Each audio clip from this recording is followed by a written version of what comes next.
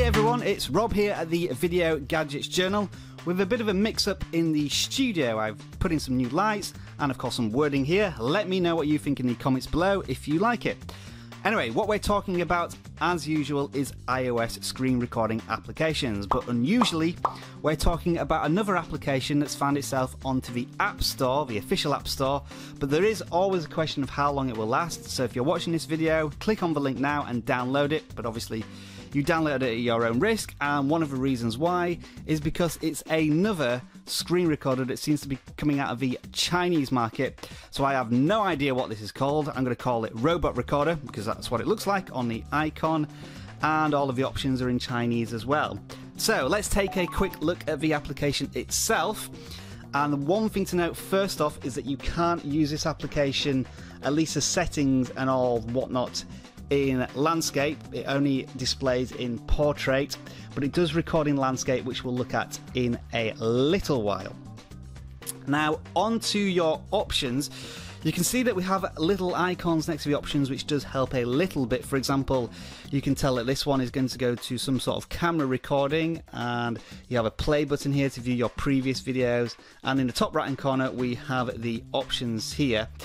And a few things to note if you try and change the resolution to uh, something else like 1080p, it's going to come up with this message which talks about a VIP option there, which probably means there is some sort of paid service.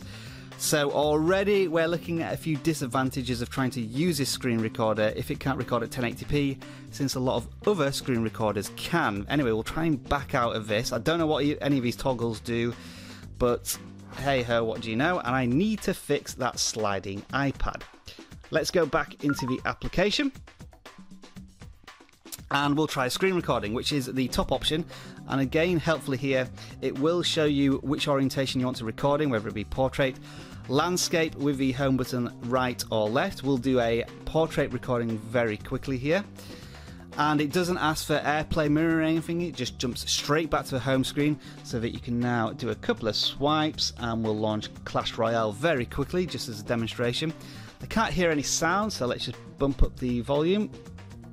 I can't hear any sound coming out of Clash Royale which may mean that it's recording the sound internally and there may be a microphone option but I'm not sure where that is because again the language is in Chinese so that might be a problem as well but we've got enough recording there probably so I think you can tap on tap on the top bar which takes you back to recording one thing is that it does seem to be recording so we don't have any of the BB recording issues where it just fails to actually do the recording now it's finished we assume that it will be in the video play options, which it is. So we'll go to the recording and we'll uh, play it and see if we can hear anything.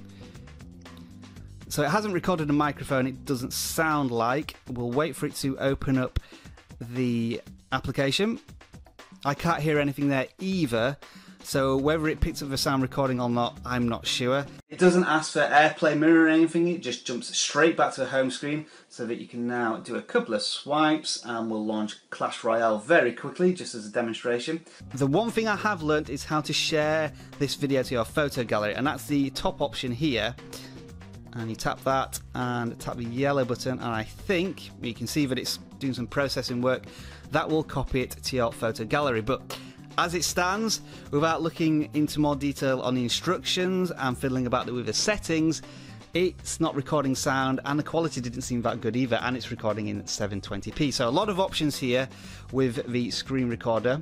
We'll check in the photo gallery it does seem to have put itself there and it does play back it looks like in the gallery as well so there are some things to praise it for but also look at this there's a watermark in the top left hand corner there which probably isn't going to be very useful either. Might be able to turn it off, but again, it might be a VIP option. So I wouldn't recommend that this iOS screen recorder, to be honest. There seems to be too many, not issues with it, but too many ways to not get it working as well as, say, Airshou, which when it's available works far better than this. But I thought I'd show you it because it is another iOS screen recorder that's available on the App Store as I speak. Anyway, thanks for watching. If you enjoyed this video, don't forget to give it a thumbs up. And if you enjoy the Video Gadgets Journal, then you definitely want to subscribe for more content. Otherwise, enjoy the rest of your tech day. Bye for now.